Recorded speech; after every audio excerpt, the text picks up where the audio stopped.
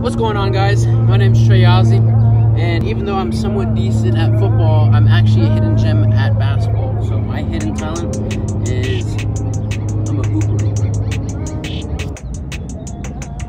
All right, so with my talent, I would like to thank some people who really helped me, and that would be Spice, that would be Uncle Drew, the infamous Flight Reacts.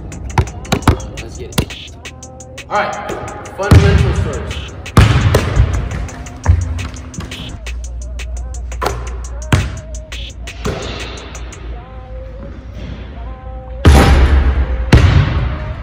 All right, so half court shots are easy to make.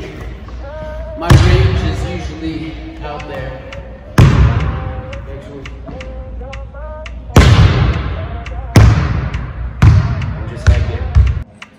This next shot is called the signature shot.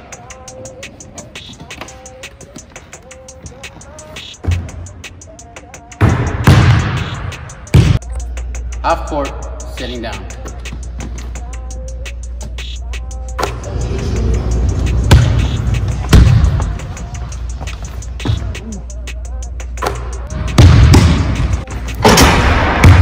All right, vote Tre Yazzie for Mr. VCHS.